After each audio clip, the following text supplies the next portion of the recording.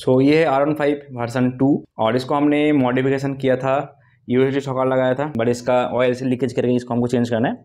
और हमने to twenty का सेंसर बिठाया था एज यू कैन सी तो आपने ये वाला मॉडिफिकेशन अगर आपने नहीं देखा है तो आप वीडियो देख सकते हैं। बट आज का मुद्दा ये है, ये बाइक आया है फिर से मॉडिफिकेशन के लिए। इस R one five version two को हमने already tank tank cover tail R one R one R one का लाइक तो और इसका फाइव एग्जॉस्ट ऑलरेडी मॉडिफिकेशन कर दिया है। बट इसको अभी जो है फुल मॉडिफाई करना है। आर वन फाइव एम में मैंने ऑलरेडी किट मंगाया देख सकते हैं पूरा बॉडी पार्ट आ चुका है। और आर वन फाइव एम का जो पूरा कॉन्सेप्ट है, वो हम करेंगे with U S D four और इसका जो कलर कॉम्बिनेशन होने वाला है, वो है आपका रेड एंड ब्लैक कॉम्बिनेशन और इसका जो व्हील है, वो भी रेड होने वाला है। और एक चीज़ अगर आपने नोटिस किया है वीडियो अगर बहुत मेरा ओल्ड सकता हो एज यू कैन सी इसमें हमने सेंटर स्टैंड लगाया। देख सकते हैं आर वन फाइव में सेंटर स्टैंड कभी नहीं आता है। तो सेंटर स्टैंड कौन सा लगेगा मैं आपको बता दूँ। आप centre stand basically R X hundred का लगाओ बेटर होगा डायरेक्ट फिटिंग हो जाएगा बट चला नहीं सकते आप मतलब आ, आ, आप काम कर सकते हो। सेकेंड मैंने इसमें लगाया है स्प्लेंडर का सेंटर स्टैंड और स्प्लेंडर का सेंटर स्टैंड खरीदने के बाद हम इसने थोड़ा बहुत मॉडिफाई किया तो ला के लिए लग गया।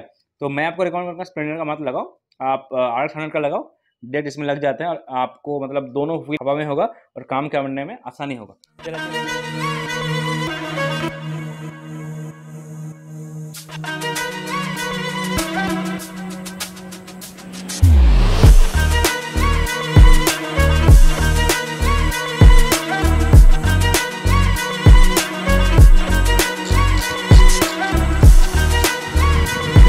सो अभी हम इसका अनबॉक्सिंग कर रहे हैं। और ऑलरेडी मैंने प्रोडक्ट देख लिया है। ये देखो, इसका जो क्वालिटी मैं आपको दिखाने वाला हूँ, ये है head R one five M का। तो क्वालिटी ठीक है क्वालिटी में उतना कोई दिक्कत नहीं बट ये प्रोडक्ट बहुत ज़्यादा भारी है। तो ये है आर वन फाइव एम का हेड और इसमें हम प्रोजेक्टर या तो हम फॉग लाइट लगा सकते हैं और इसमें हम एक ग्रिल वगैरह लगाएँगे और यहाँ पे टूटा हुआ है। ये वाला पतला क्वालिटी थोड़ा सा लग रहा है फिर इसको हम एम सील से भर देंगे और सैंडिंग मतलब कलर तो होने वाला है, पुट्टी वगैरह करेंगे। तो ये है मतलब किट के साथ आया है। ये वाला जो टेल है, अभी जो टेल मिल रहा है आपको, वो उसका क्वालिटी बहुत ही बढ़िया हो चुका है। पहले जो मैंने टेल लिया था, उसका क्वालिटी थोड़ा सा पतला था। इसका मतलब हाथ में लेके फिर काफ़ी मोटा मतलब लेयर इम्प्रूव किया है। तो इसके बहुत बढ़िया क्वालिटी मुझे लगा बट एक चीज़ मुझे क्या लगा कि इसको थोड़ा सा फिनिशिंग में दिक्कत है। बाकी सब कुछ ठीक है, कोई दिक्कत नहीं है। ये आपका delta box frame cover as you can see दोनों साइड के लिए मिलता है। एक, इसमें भी थोड़ा फिनिशिंग फिनिशिंग तो लेना पड़ता है जितना भी किट लो फिनिशिंग तो लेना पड़ेगा। और यहाँ पे ये डेल्टा बॉक्स फ्रेम कवर आपको दो मिलते हैं। ये वाला।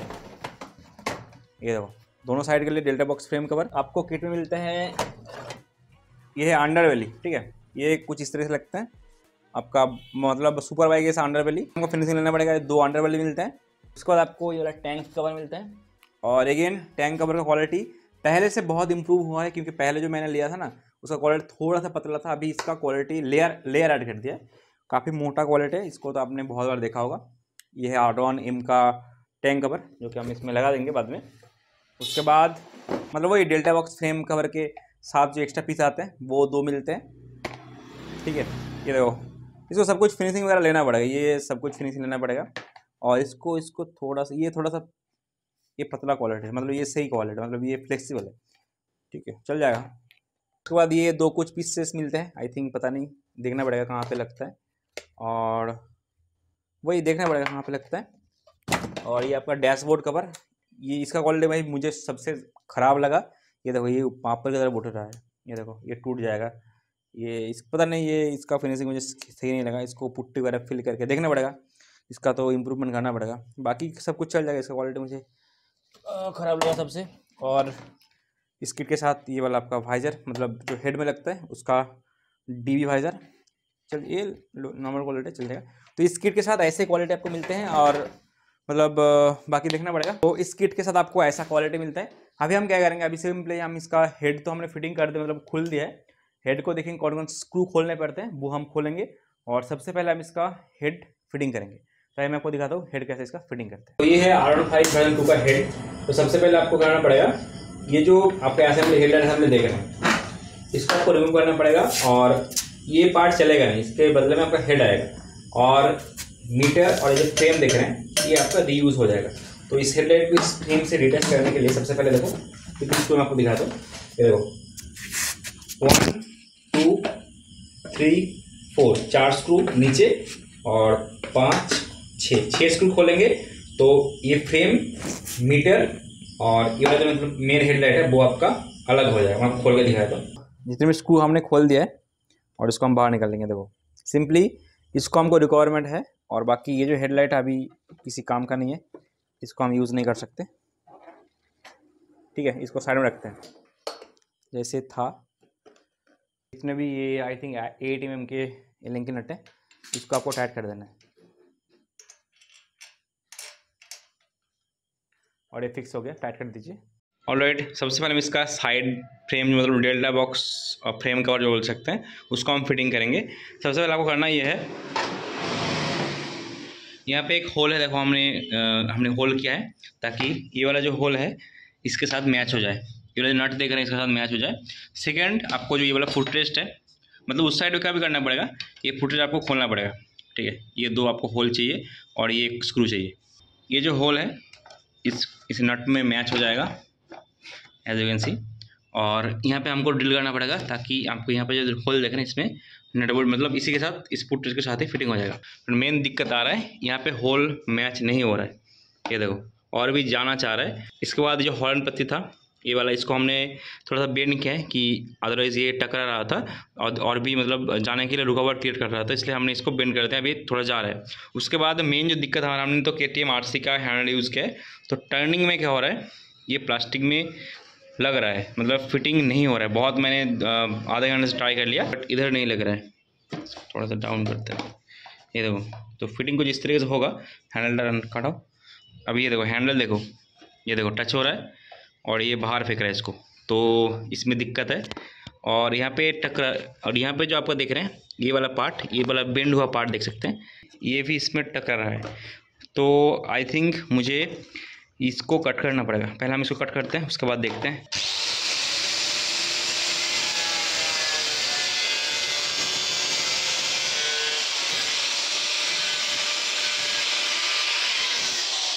सो एज कैन सी हमने यहाँ पे फिटिंग कर दिया है।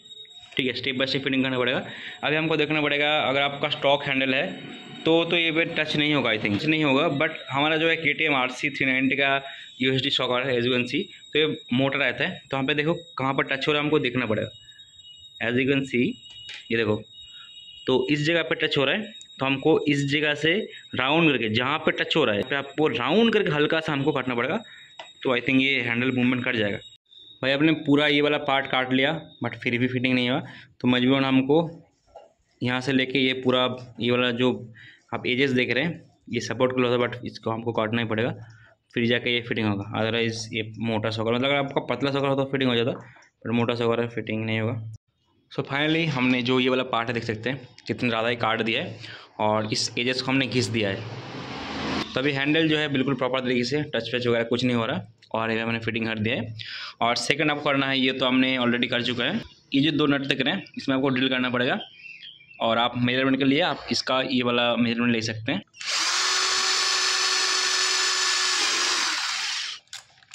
और टेम्प्रोरी हम जस्ट फिटिंग कर रहे हैं। ये होल टू होल मैच हो गया। हमने इस पैनल के साथ किया है कटिंग किया है। और हमने टैंक पैड लगा दिया है। ताकि सेप मिल जाए। अभी हम हेडलाइट का फिटिंग करेंगे उससे पहले। इसको मैं बता देता हूँ नीचे कैसे फिटिंग होगा। ये तो ड्रिल किया मतलब आपको करना पड़ेगा। और नीचे आपको ये वाला ड्रिल आपको हैंड से मैनुअली करना पड़ेगा, ताकि यहाँ पे एक नट आता है। यहाँ पे एक नट आता है, ये वाला पत्ते आता है, ये आपका। तो यहाँ पे लगता है। इसको आप खोल लीजिए। और यहाँ पे एक ड्रिल करिए, जो कि इसको भी खोलना पड़ेगा। इसमें आपका एक ड्रिल ये दो दो हो ड्रिल होगा, मेरा तो टूट गया था। तो इससे ये अटैच हो जाएगा। मैं आपको दिखा दूँ और ये इसके अंदर लग जाएगा। और इसको सपोर्ट देने के, नीचे सपोर्ट देने के लिए ये वाले जो पत्ती इसको आप खोल लीजिए। खोलने के बाद इसको जो हमने ड्रिल किया है नीचे वाला, इसके साथ इस तरीके से हमको लगाना पड़ेगा। तो क्या होगा? इस पत्ती के साथ सपोर्ट हो जाएगा। और उसके बाद हम करेंगे इसका head fitting head fitting directly fitting नहीं होगा। बहुत सारे आपने वीडियो में देखा होगा कि डायरेक्ट फिटिंग हो जाता है। डायरेक्ट फिटिंग नहीं होता है। तो आपको थोड़ा सा ऑल्ट्रेशन तो करना ही पड़ेगा। तो मैं आपको दिखाता हूँ कैसे हेड फिटिंग होता है। इस तरीके से इसके अंदर लगाना पड़ेगा। तो यहाँ पे जो जगह दिया हुआ है, ये आपका मिरर के लिए जगह दिया हुआ है तो इसी के ऊपर भाइजर टाइट होता है। तो अगर आप इसको मिलाते हैं इस तरीके से, और इसको मिलाते हैं, मिल गया तो अगर आप इसके ऊपर ड्रिल करते हैं तो ये वाला जो मोटा वाला पार्ट है, ये ऊपर की तरफ़ उठ रहा है तब क्या होगा, आप जब हैंडल टर्न करेंगे ना तो ये इससे टकराएगा। तो हमको करना ये है, इसको और भी डाउन करने के लिए हमको हेडलाइट को थोड़ा सा इस तरीके से ऊपर उठाना पड़ेगा, ताकि ताकि ये वाला पार्ट जो है ये इस तरीके से नीचे डाउन हो जाए, ठीक है? अब हम करेंगे इस तरीके से फिटिंग तो अभी हम जब हैंडल घुमाएँगे ना तो ये वाला पार्ट या फिर आप ये वाला जो पार्ट है, वो नीचे टच नहीं होगा।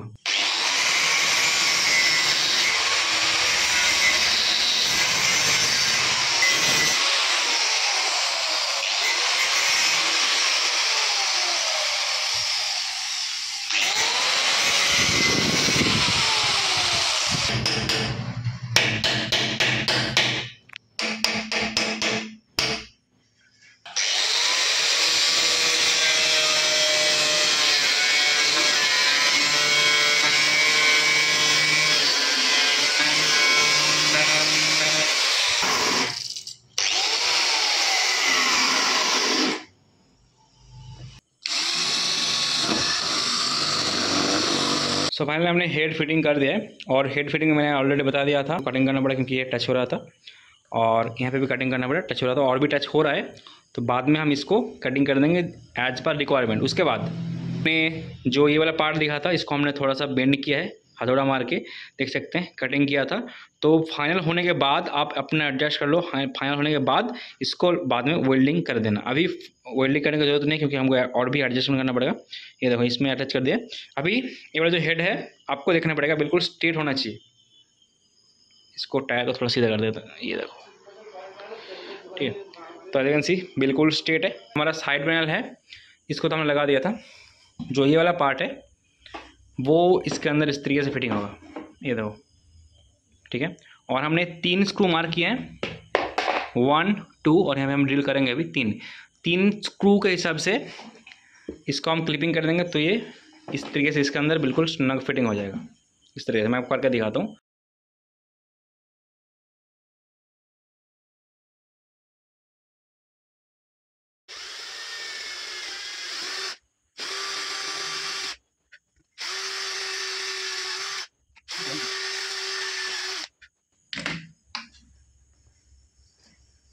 जो हमने इस बाइक का ओल्ड क्लिपिंग था, उसको हमने देखो फिटिंग कर दिया, बिल्कुल कंपनी का फिटिंग हो रहा है। तो इसमें हम स्क्रू कस देंगे नट बोल्ट करेंगे तो गंदा दिखेगा। तो स्क्रू कस देंगे तो मतलब फिटिंग आप बाहर से खोल मतलब खोल भी कर सकते हैं मतलब खोल सकते हैं और बाद में लगा भी सकते हैं। सर्विसिंग के लिए इसको हो सकता है खोलना पड़े।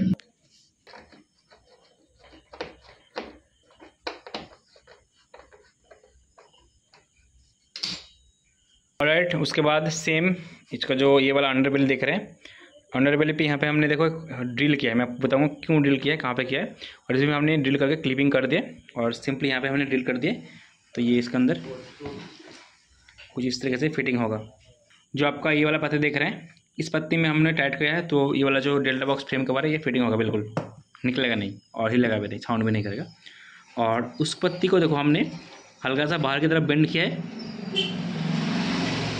इस पत्ते को हमने हल्का सा बाहर की तरफ़ बेंड किया है। उसके बाद एक इंच गैप देके तो यहाँ पे हमने हल्का सा कटिंग करके इसको बिल्कुल प्लेन कर दिया ताकि जो हमारा हमने ये वाला पैनल लगाने वाला है ना, वो इस स्क्रू के साथ यहाँ पे अटैच हो जाएगा और सेकेंड जो फिटिंग हमारा होगा इस होल के साथ यहाँ पे बोल्टोन लग जाएगा। मतलब आपको एक्स्ट्रा ड्रिल विल करने की एक्स्ट्रा आपको वेल्डिंग वगैरह करने की कुछ ज़रूरत है ही नहीं। बाद में आप इसको जो हमने बेंड किया था, इसको हम वेल्डिंग कर देंगे तो ये बिल्कुल स्टेडी होगा।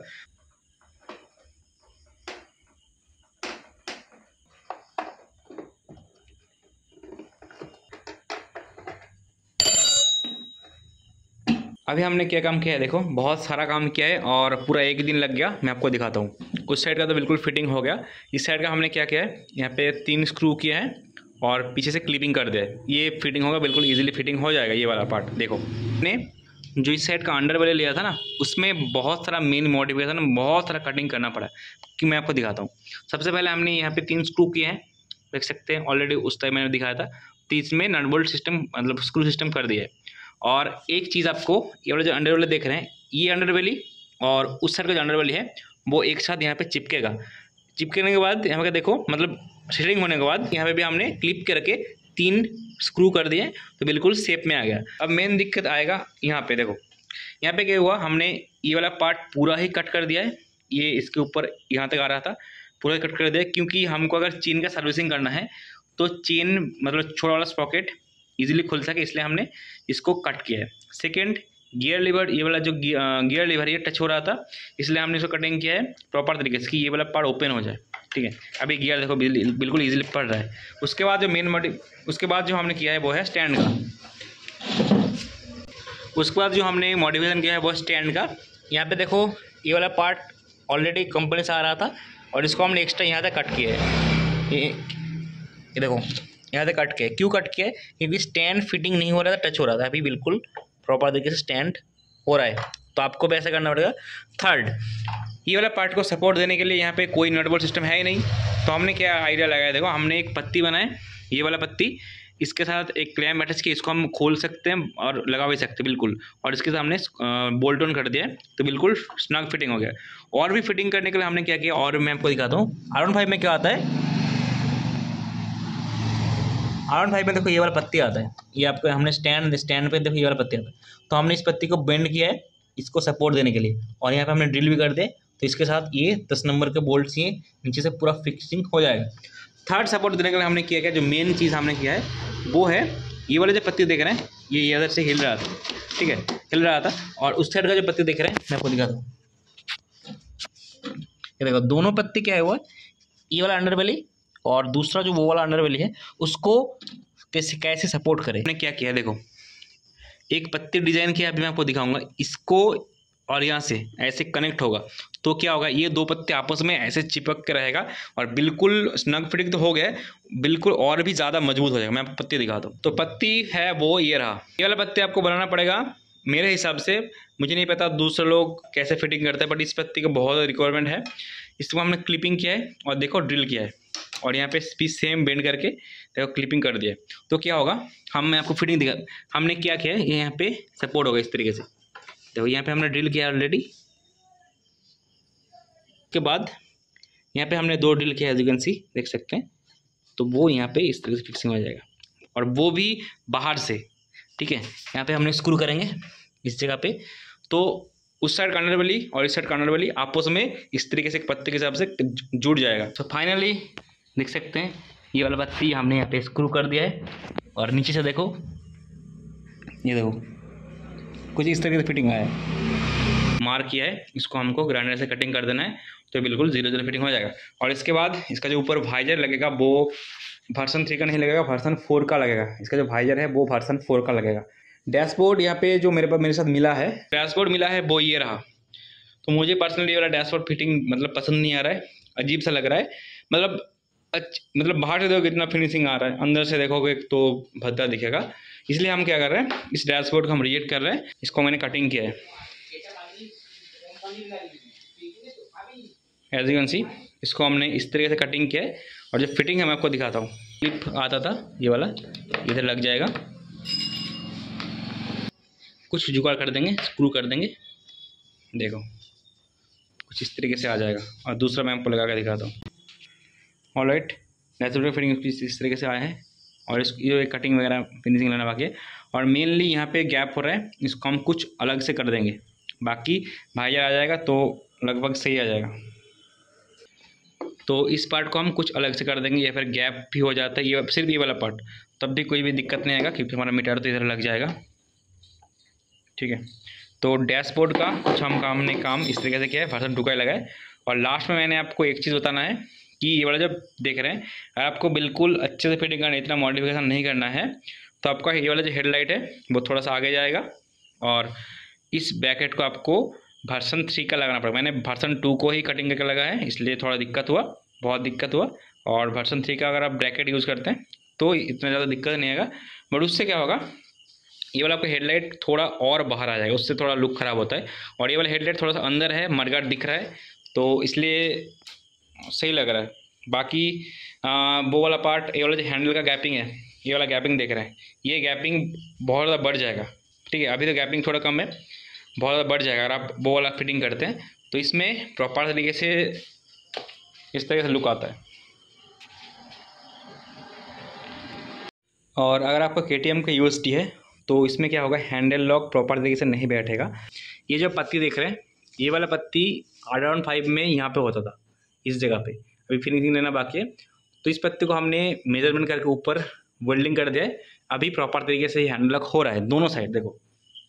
ये रहो प्रॉपर तरीके से हो रहा है। ये देखो as you can see handle lock इस साइड और दूसरी साइड अगर हम करेंगे तो भी इस पत्ती को हल्का सा घिसना पड़ेगा। अदरवाइज़ इस साइड में लॉक नहीं होगा। ये देखो अभी इस साइड हो रहा है। ठीक है अभी इस साइड भी देखो लॉक होगा। प्रॉपर तरीके से बिल्कुल कंपनी फिटिंग ऐसा हो जाएगा। ये देखो। नहीं नहीं हुआ। ये देखो हो गया। ये देखो। So and this is the final fitting no touch ठीक है। टच नहीं हो रहा है। और इसको ये देखो। टच नहीं हो रहा है और इधर भी बिल्कुल बिल्कुल हल्का सा है वो कर देंगे। इधर भी बिल्कुल ज़ीरो ज़ीरो फिटिंग आया है, और डैशबोर्ड का मैंने ऑलरेडी बता दिया था, इसी का डैशबोर्ड को हम कवर यूज़ करेंगे क्योंकि फिटिंग अच्छा होगा, और ये वाला पार्ट हम कुछ तरीके से कवर कर देंगे बट ओवरऑल जो फिटिंग है, वो इधर कंप्लीट होता है। और टेल फिटिंग मतलब सबको पता है, यहाँ पे स्क्रू करना है दो, और प्रेस करना है, ये वाला थोड़ा हार्ड रहता है तो प्रेस करेंगे करेंगे तो हो जाएगा। और यहाँ पे क्लैम करेंगे कंपनी वाला जो इसका इसी का पत्ती है उसी को क्लेम कर देना है। प्रॉपर इसको भी करना पड़ता है तभी जाकर होगा और टैंक वहाँ फिटिंग कर दिया ठीक है तो ओवरऑल फिटिंग मैंने दिखा दिया है कुछ इस तरीके से होगा। मतलब फिटिंग ही मेन है इस गाड़ी तो so, इस वीडियो को यही पेन करते हैं। आपके वाला वीडियो पसंद आता वीडियो को लाइक करना है और मिलते हैं नेक्स्ट पार्ट में। नेक्स्ट पार्ट हम इसका लाइटिंग फिटिंग जो भी छोटा मोटा फिनिशिंग है वो करेंगे। और टेल टाइटी मतलब जो भी एक्सरीज वाला काम है वो हम नेक्स्ट वीडियो में करेंगे। तो हमने कुछ एक्सरीज ऑर्डर भी दिए हैं वो हम नेक्स्ट वीडियो में करेंगे। और उसके बाद जो पार्ट आएगा, वो उसमें हम पूरा कलर करेंगे। तो इसका तीन पार्ट आने वाला है। अभी आप एक पार्ट देख रहे हो फ़र्स्ट पार्ट सेकंड पार्ट आएगा फिटिंग एक्सरीज वाला। लाइट वगैरह हम कौन सा यूज़ करेंगे, कौन सा प्रोजेक्टर हम यूज़ करेंगे, कौन सा डीएल हम यूज़ करेंगे। उसके बाद विथ प्रॉपर कनेक्शन उसके बाद कलर वाला फिटिंग करके फाइनल वीडियो आएगा। सो मिलते हैं गाइस अगले पार्ट में। बाय जय हिंद। वंदे मातरम। और सब्सक्राइब करने मत भूलिएगा। वंदे मातरम। भारत माता की। जय।